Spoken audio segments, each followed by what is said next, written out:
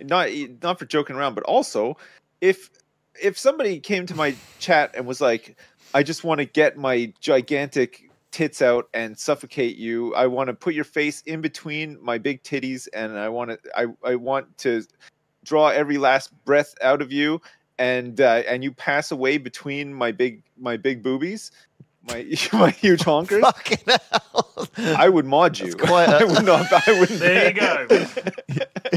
Just give the give him the channel. It's yours now. Yeah, it's yours. Your You sips take now. over.